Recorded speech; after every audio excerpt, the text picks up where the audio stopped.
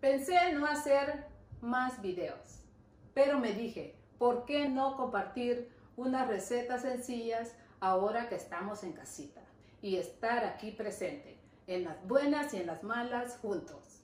Y vamos a luchar a seguir adelante. Así que quiero compartir una receta bien sencilla y deliciosa. Un buen pan, porque a todos cuando estamos en casita se nos antoja un café y un buen pan. Pero no es cualquier pan, es un panito salvadoreño delicioso. Y es una receta sencilla, delicioso. Vamos a usar media taza de harina de maíz o maseca, media taza de azúcar, medio queso Filadelfia, la mitad, media taza de requesón, media taza de crema salvadoreña, media taza de sour cream. Y si no encontramos salvadoreña, usamos sour cream. Dos huevos. Media cucharada de polvo de hornear. Media cucharadita de sal. Una cucharada de margarina y ajonjolín. Así que con ustedes para esta receta deliciosa, un panito salvadoreño. Empezamos. Y empezamos a hacer nuestra delicia, nuestro panito. Ponemos la media taza de requesón. Y ponemos la mitad del queso Filadelfia. Si no encontramos requesón, usamos todo el queso Filadelfia. Yo ya lo tengo cortado así en pequeños pedazos para que sea más fácil cuando lo esté mezclando. Y ponemos la media taza de azúcar. Y aquí lo mezclamos a que se nos haga bien suave. Y nos queda una delicia de panito. El panito es tradicional, pues, para lado donde yo vivía, en Metapan. Delicioso. En Metapan se hacía solo de crema y requesón. Pero con los ingredientes que le estamos poniendo, esto queda delicioso. A mis hijos les encanta el panito. Por eso yo lo hago seguido.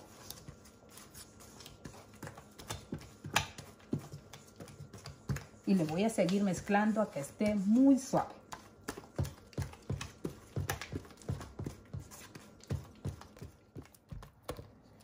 Y así como se ve el requesón y el queso mezclado, así se ve de suave. Le ponemos la crema salvadoreña. Y como digo, si no encontramos la salvadoreña, usamos el doble de sour cream. Y nos queda delicioso. La media taza de sour cream o crema ácida. Se la ponemos toda. Y le ponemos la media cucharadita de sal. y le ponemos la media taza de harina de maíz o maseca y lo mezclamos.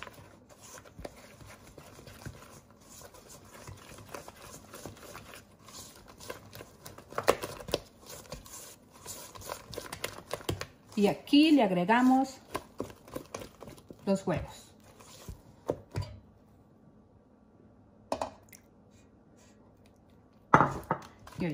lo mezclamos.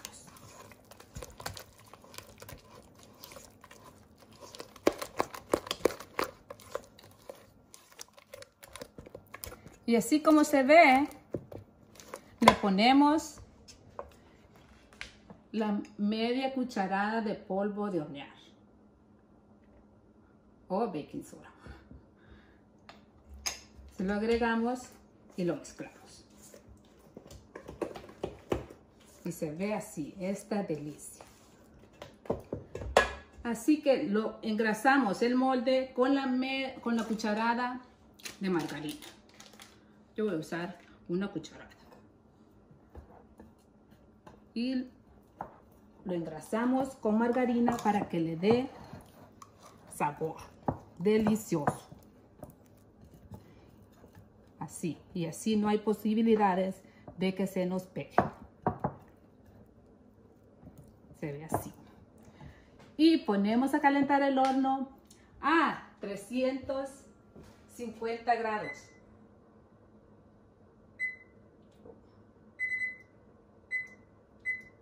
350 y ponemos nuestra masa de panito al molde y va a descansar en lo que se nos calienta el horno. Lo dejamos reposar en lo que está caliente el horno.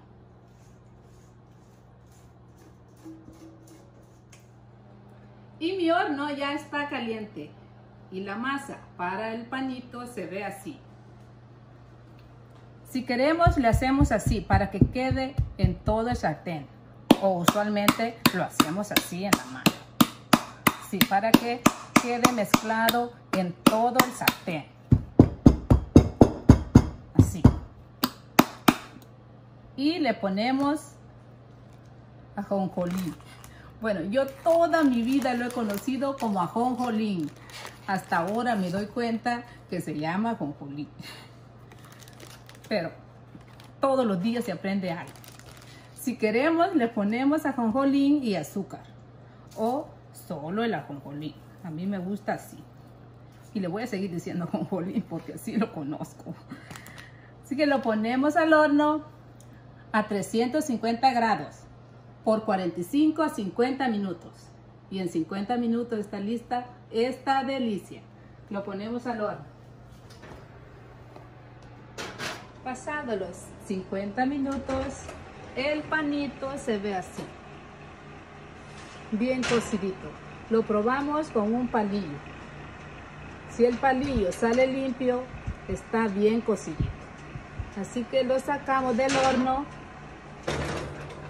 Huele delicioso. Y lo dejamos que se enfríe. Y después lo cortamos y lo saboreamos con un buen café. Café listo. El panito listo. Ya se enfrió. Así que vamos a cortar esta delicia. Salvadoreña o metapaneca. Porque así la conocemos en Metapan como panito. Le damos a la vuelta con el cuchillo y sacamos nuestro panito y se ve así. Delicioso. Lo cortamos así por mitad para agarrar un buen pedazo. Y se ve así nuestro panito. Es un olor delicioso. Así que, como yo siempre digo, muchísimas gracias por tu tiempo de ver mis videos. Y no perdamos la fe en Dios. Gracias.